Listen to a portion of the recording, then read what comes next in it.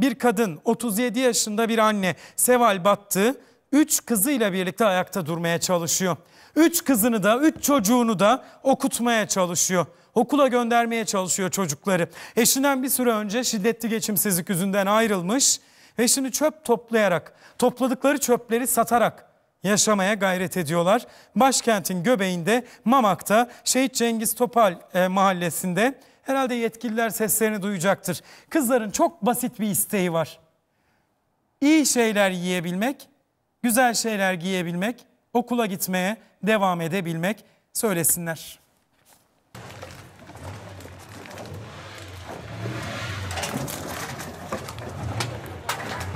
Ben getiren kablolar sen İki kız bir oğlan. Üç kız dedim iki kız bir oğlan. Çocuklara bakmak için mecburi. İki buçuk senedir neredeyse gidemiyoruz. Okumak istiyoruz. Ben dörtten çıktım.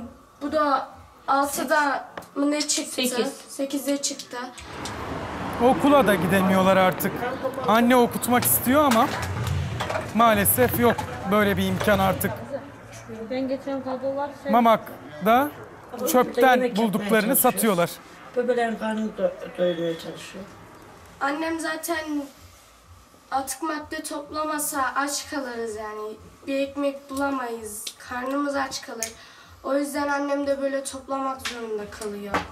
Annemin böyle bina işi gibi bir iş bulmasını istiyoruz. Yani daha bir ev, çatısı akmayan, mesela daha doğru düzgün bir kapısı olan, doğru düzgün bir odaları, daha doğru düzgün bir duvarları olan bir evde yaşamak istiyoruz.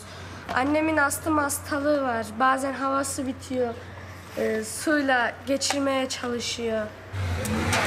14 yaşında Yağmur.